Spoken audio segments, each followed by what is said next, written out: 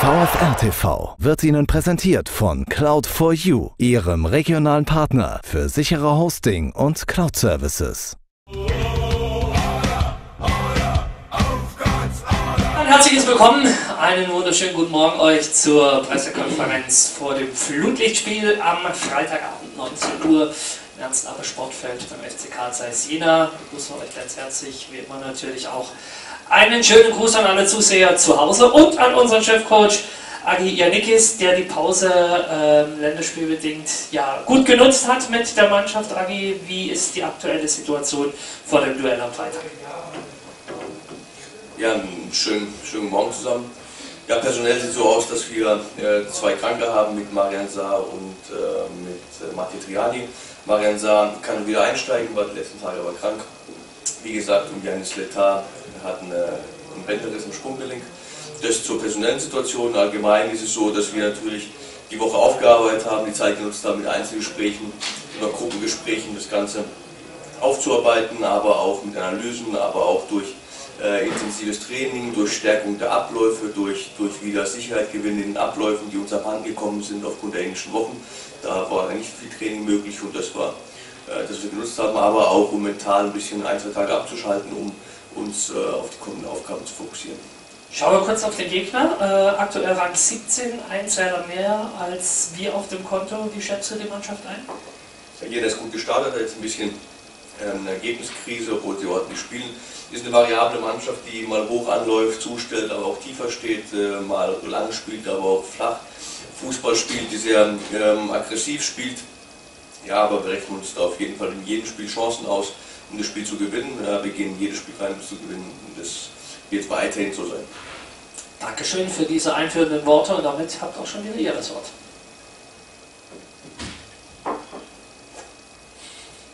Ja, ähm, kurz nochmal zu Jena. Ähm, Sie hatten gesagt, Spiel variabel. Was macht sie denn noch besonders aus? Irgendwie ein Flügelspiel, ein Spiel durch die Mitte, irgendwelche bestimmten Systeme, die Sie erkannt haben? Ja, das System spielen sie eher aus dem 4-2-3-1, haben auch schon mal 4-4-2 gespielt, 4-3-3 auch gespielt. Das ist die Herangehensweise, die haben stark erfolgen, einen robusten, einen robusten Mann. Ähm, ja, die haben Tore geschossen durch Flachspiel, die haben Tore geschossen durch, durch, durch Langspiel. Das heißt, da sind sie ein bisschen unberechenbar, auch variabel, aber das ist, ist okay. Ja, ist eine intensive Mannschaft, die hohes Tempo geht, die aggressiv spielt. Ja, darauf gilt es sich einzustellen. Haben jetzt gerade gesagt, intensive äh, Mannschaft, dann erwartet man auch vielleicht auch ein intensives Spiel aufgrund der Situation. Auch die haben sechsmal jetzt nicht gewonnen, der VfL jetzt mit zwei negativen Erlebnissen äh, vor der Pause. Könnte es eher so ein Kampfspiel werden am Freitagabend dort? Ja, ich glaube, ich kann nur von uns sprechen, ich glaube, wir sind uns alle der Situation bewusst. Ähm, wir sind aber reflektiert genug, um zu wissen, dass äh, wenn wir das Spiel Köln gewonnen hätten, wir jetzt 8. 9. wären, da hätten wir um ganz andere Dinge gesprochen. Das heißt, die Liga ist so eng zusammen, und die Spiele sind sau, sau eng. Ja, so wird auch dieses Spiel sein. Für uns heißt es, ja, uns für unsere guten Phasen zu belohnen. Das haben wir in der Vergangenheit zu selten gemacht, ja, und eine gewisse Konstanz zu bringen.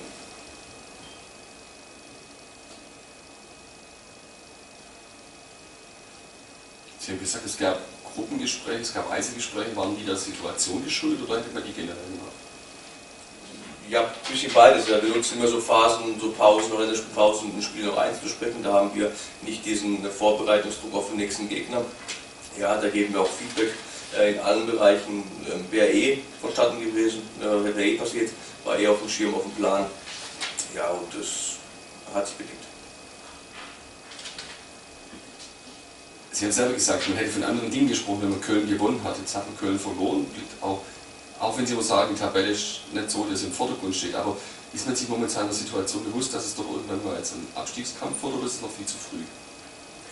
Nein, wir sind uns generell der Situation bewusst, dass, dass wir sagen, wir haben zu wenig Punkte, wir haben uns zu selten belohnt, ähm, wir haben ja, in guten Phasen ja, zu wenig rausgeholt. Das ist so, wir kriegen durch äh, individuelle Fehler auch oder schlechte Phasen auch zu leichte Gegentore, das wissen wir, ja, das haben wir analysiert. Die Tabelle ja, ist sau eng, ja, ist ganz eng, ähm, natürlich stehen wir da, wo stehen, aber wir sind reflektiert genug, äh, wir wollen nicht schönreden, ja, wollen wir nicht keine Frage, aber wir sind reflektiert genug zu wissen, okay, ähm, es kann sich auch in ein, zwei, drei Spielen wieder umkehren, weil es wirklich so eng ist und so umkämpft ist das Ganze. Ja, und wir in jedem Spiel äh, auch gezeigt haben, wozu wir fähig sind, auch in Phasen der Saison gezeigt haben, wozu wir fähig sind, müssten nur das Ganze konstant hinkriegen. wenn man die Mannschaft jetzt sieht im Training, Training, ist die Stimmung sehr, sehr gut, ist die Mannschaft gebildet, ist alles so, wie man sich vorstellt oder sehen Sie irgendwo Defizite? Nein, die Mannschaft ist sehr, sehr reflektiert, sehr fokussiert. Ähm, Trainingswoche letzte Woche war sehr gut, äh, diese Woche genauso sehr engagiert. Ähm, alle aber die Wochen davor genauso. Ähm, jetzt vielleicht ein Tick konzentrierter aufgrund der Situation, der Eindruck, den wir bisher haben. Ja, ähm, und das hoffen wir, dass wir das auf Platz kriegen. Sie haben gesagt, Marian Sack wird zurück, bei Triani haben Sie nichts gesagt. Marian Triani ist auf dem Fahrrad heute, äh, wird der Kreislauf aktiviert, dass er morgen wieder einsteigen kann, Westerplatte.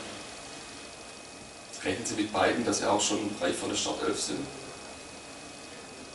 Ja, das werden wir sehen. Ich glaube, Marc hat einen Tag, Tag, fängt einen Tag früher an mit der Mannschaft zu trainieren. Das heißt, da wird es wahrscheinlich äh, wahrscheinlicher, dass er bis Freitag äh, hergestellt ist, zumal wir morgen früher schon abreisen oder morgen früh Training haben und dann erst abreisen. Das heißt, es ist nicht so, dass er, dass er bis Freitag Zeit hat, dass wir müssen morgen eine Entscheidung treffen äh, vor der Abfahrt, was, was, was Sache ist, ja, ob die Spieler bereit sind oder nicht bereit sind. Bei Marian werden wir heute einen Eindruck kriegen, bei, bei Matthias morgen im, im, im Training, also, sofern er einsteigt und dann werden wir entscheiden. Nochmal zum Thema Einzelgespräche, Gruppengespräche. Ähm, ja, so dieser Faktor Psychologie, der spielt jetzt wahrscheinlich, wenn man aufgrund der Situation anschaut, eine wichtige Rolle. Wie, wie stabil ist denn die Mannschaft? Das macht sich einen Eindruck mental. Das ist ja immer ein Faktor, den kann man zwar nicht messen, aber so einen Eindruck kann man ja gewinnen.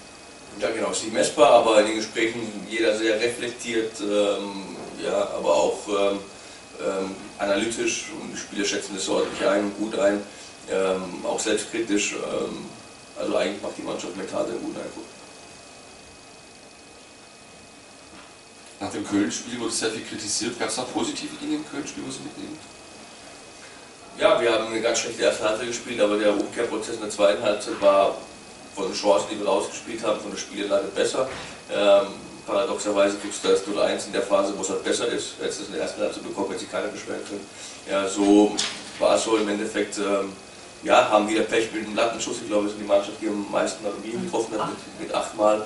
Äh, kommt noch auch hinzu. Also, ja, ähm, dass wir daran geglaubt haben bis zum Schluss. Die letzten zehn Minuten, glaube ich, haben wir drei, vier Chancen, um das äh, umzukehren, dass wir konditionell auf der Höhe sind, äh, bis zur über 90. Minute zu gehen. Ähm, das war positiv. Ja, sofern man was Positives bei ihm rausziehen kann. Aber wir sind da, da auch, auch ähm, ist unser Job auch in negativen Phasen auch beides zu äh, analysieren, das Negative und das Positive, genauso in positiven Phasen auch das Negative zu suchen, damit der Entwicklungsprozess voranschreitet, den wir auch angestoßen haben. Tom Rehfeld hat mir gesagt, er hat sich vorne sehr wohl gefühlt. Er habe früher schon gespielt. ist, es, ist es nur eine, eine, Ausnahme gewesen, so jetzt oder jetzt, also alles oder nichts, oder ist er wirklich eine Option da vorne als Kopfballstarker Spieler? Ja, ähm, ich meine, es ist ja kein Geheimnis, dass wir vor dem Sturm ein bisschen dünn besetzt sind, aufgrund der Situation davor, ist, ist halt so. Ähm, und Torben ja, ist kopfballstark und das war eine Ausnahmesituation, dass er jetzt da nach vorne geht. Äh, Torben Rechner ist, glaube ich, gelernter Innenverteidiger und hat seine Profi-Fußstapfen als Innenverteidiger auch, auch gemacht und will sie weiterhin tun und diese Geschichten sind dann Ausnahmesituationen, weil man gemerkt hat, Gegner steht mit zehn Mann tief. Ja, dir fehlt an dem Tag ein bisschen die Sauberkeit, um alles durchzukombinieren was okay ist, äh, weil du wieder Rückstunde herlaufen musst und dann 10 Minuten, 8 Minuten oder 7 Minuten waren es glaube ich, äh, mit der Brechstange probiert, aber Torben Rehfeld ein, ein guter Zielspieler. Gibt es Spieler, ich weiß, Sie mögen das Wort zweite Reihe nicht, aber gibt Spieler, die zuletzt nicht so gespielt haben, die sich aufdrängen gerade, die einen Schritt nach vorne gemacht haben in der Entwicklung? Ja, es ist immer schwer zu sagen. Ähm, wir haben hier und da ein bisschen rotiert, ähm, was ist jetzt zweite Reihe, was ist erste Reihe, nehmen jetzt Zwickau und, und Köln als Maßstab, dass die erste Elf ist oder ist es eher die erste Elf von Münster? Ja, das ist immer so eine Sache. Im Endeffekt kann ich sagen, dass die Mannschaft sehr engagiert trainiert, äh, alle sehr engagiert sind, ähm, ja, gutes Training abliefern, aber schon die ganze Zeit. Jetzt vielleicht nochmal ein Tick schärfer ja, weil die sind nochmal ein Tick schärfer äh, geschärft wurden aufgrund der Situation, das ist nun mal so. Ja, aber ich kann es keinem jetzt da speziell rausholen.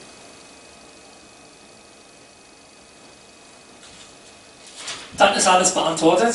Äh, gibt mir die Gelegenheit, nochmal hinzuweisen, morgen Abend die Partie, äh, beziehungsweise am Freitagabend die Partie dann ab äh, 18.30 Uhr schon, ich bin schon heiß, ich könnte morgen schon starten, ab 18.30 Uhr bei Telekom Sport das äh, Topspiel der Woche und wie immer natürlich alle Infos dann auch im VfR Live-Ticker unter www.vfr-alm.de. Toi, toi, toi, gute Trainingswoche noch für dich, Agi, und die Mannschaft und dann sehen wir uns am Freitag in Jena. Bis dann. Tschüss. VfR TV wird Ihnen präsentiert von Cloud4U, Ihrem regionalen Partner für sichere Hosting und Cloud Services.